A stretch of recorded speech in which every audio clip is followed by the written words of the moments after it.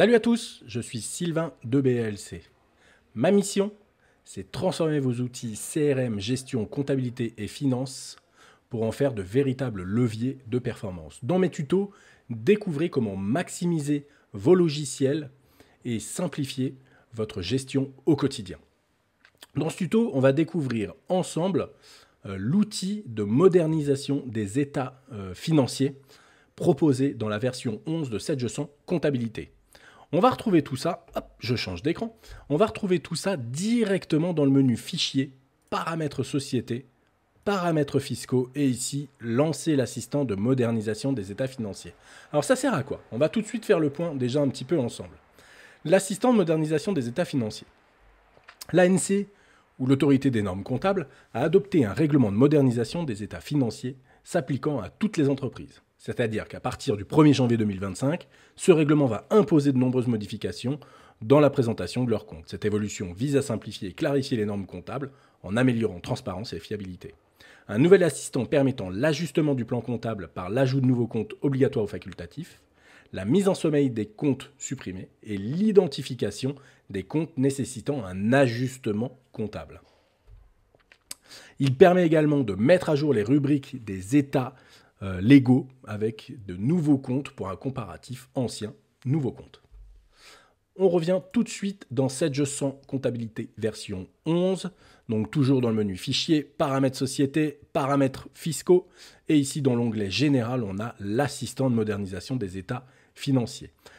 Cet assistant nous permet deux fonctionnalités. Mettre à jour le plan comptable, mettre à jour le paramétrage des états, bilan, compte de résultats et ainsi de suite. Si on va tout de suite dans la mise à jour du plan comptable, on fait suivant, on va ici pouvoir télécharger le fichier de paramétrage, ne pas s'appuyer sur un fichier local, on s'en fiche, on va le télécharger.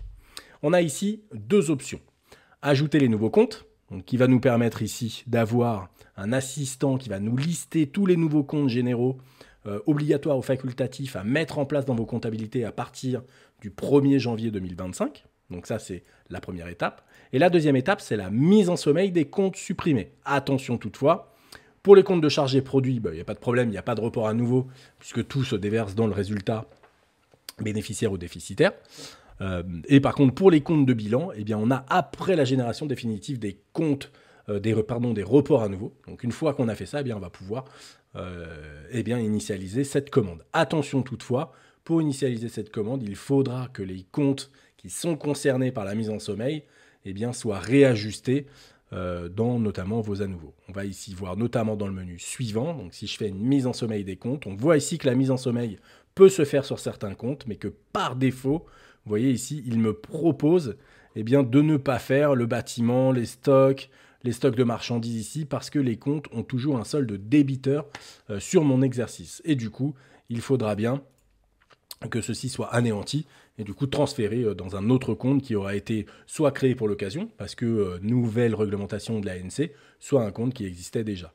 En bas de liste, on n'a pas accès ici au 707, il ne sera pas concerné sur l'exercice euh, du coup 2025, 1er janvier 2025, puisque lors des reports à nouveau, vous le savez, les 6 et 7 sont annulés, entre guillemets, pour être passés en 120 ou 129. Voilà. En tout cas, ça, c'est la première étape. On a une autre étape ici voilà, qui est la mise à jour du paramétrage des états. Le bilan, le compte de résultats, alors on a pas mal de choses ici.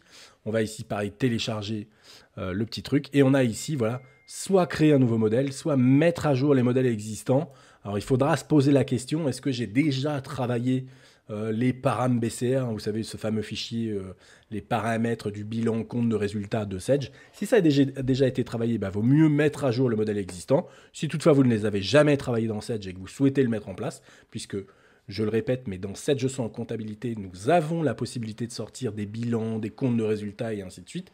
J'entends souvent dire que c'est pas possible. C'est possible depuis des années maintenant, même euh, lorsque j'ai commencé à être consultant Sedge, c'était déjà possible.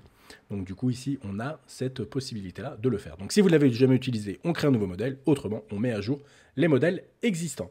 Donc voilà un petit peu pour cette nouvelle fonctionnalité d'assistant de modernisation des états financiers. Si toutefois c'est pas clair pour vous, n'hésitez pas en bas de cette vidéo, vous me laissez un petit commentaire, j'y répondrai avec un immense plaisir. Euh, et d'ici là, je vous laisse tranquille, c'était Sylvain de BLC. Ciao